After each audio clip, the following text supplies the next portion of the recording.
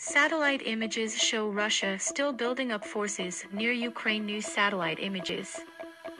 New satellite images captured by a private U.S. company show that Russia has continued to build up its forces in annexed Crimea and near Ukraine in recent weeks, while pressing the United States for talks over security guarantees it is seeking.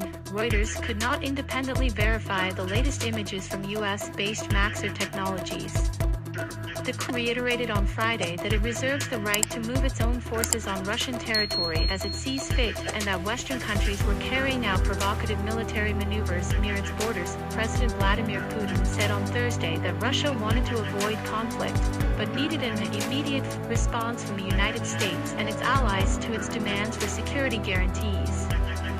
Moscow has said it expects talks with U.S. officials on the subject to start in January in Geneva. On Friday, Said Russia had conducted a test launch of a hypersonic missile.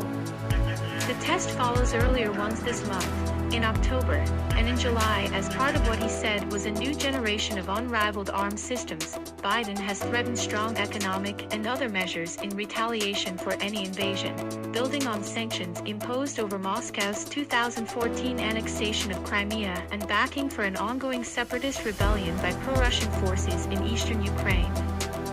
A U.S. official has said new retaliatory measures could include tough export controls. Russia says it wants NATO to halt its eastwards expansion and is seeking guarantees that the Western military alliance will not deploy certain offensive weapons to Ukraine and other neighboring countries. Pictures also showed continuing buildups at Yelnya, a Russian town around 160 miles, 260 kilometers, training ground near the southern Russian city of Voronezh.